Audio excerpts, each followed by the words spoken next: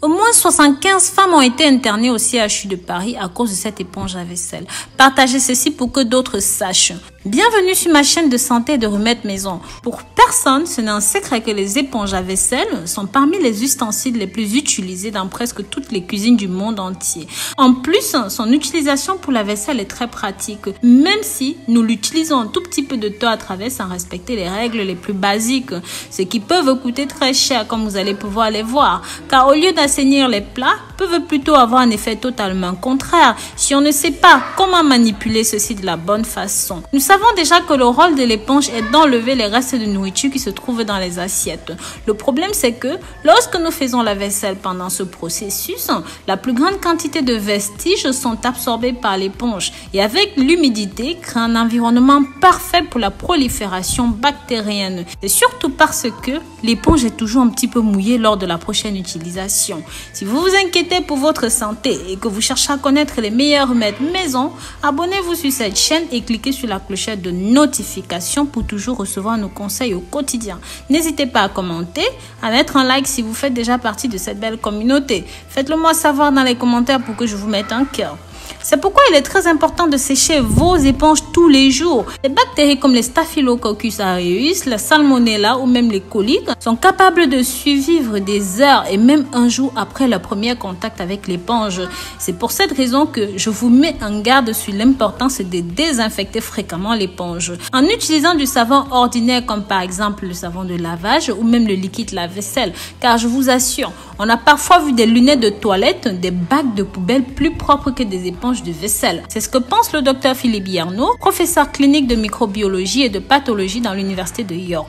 Il nous explique que les éponges sont faites avec de petites ouvertures pour absorber facilement l'eau, mais aussi pour faciliter l'élimination des déchets. Mais aussi, à cause de ces trous, emprisonnent toutes les micro-saletés qui, pendant que nous nettoyons notre vaisselle, se reliront et seront déposés à nouveau sur la vaisselle. Il affirmait aussi que les restes de nourriture peuvent rester un peu de temps à l'intérieur de l'éponge. Il suffit seulement de 20 minutes pour que les micro-organismes pathogènes commencent à se développer. Donc c'est pour ça qu'il est très important de désinfecter de façon correcte vos éponges. Ce qui semble donc assez ironique puisque nous lavons nos ustensiles pour les désinfecter et non pas pour nous infecter plus tard avec.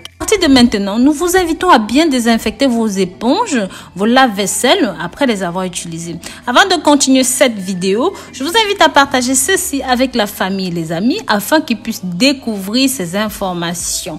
Maintenant, Comment désinfecter et nettoyer les bactéries de l'éponge? À travers une enquête organisée par le service de recherche agricole américaine en 2007, plusieurs tests ont été lancés sur les éponges et la vaisselle, où il a été déterminé quelle était la méthode la plus efficace pour éliminer les agents pathogènes qui s'accumulent? D'abord dans les éponges, dû à plusieurs facteurs tels que la température ambiante propice, en lavant les plats par exemple de viande hachée, hein, ce qui augmente très rapidement et très facilement la quantité de microbes dans les éponges. Il faut donc submerger le tout pendant 3 minutes dans une solution d'eau de javel à 10%, ensuite dans du jus de citron pendant une minute, Ensuite, introduisez le tout dans un micro-ondes pendant une minute et laissez sécher au soleil. Il a été déterminé que l'eau de javel et le jus de citron arrivent à réduire de 37 à 87% des bactéries. Le fait de chauffer le tout au micro-ondes débarrasse de 99,9% des micro-organismes. Donc, l'étude a conclu que le moyen le plus efficace d'éliminer les bactéries est le chauffage au micro-ondes ou même au lave-vaisselle après un cycle de séchage, bien sûr.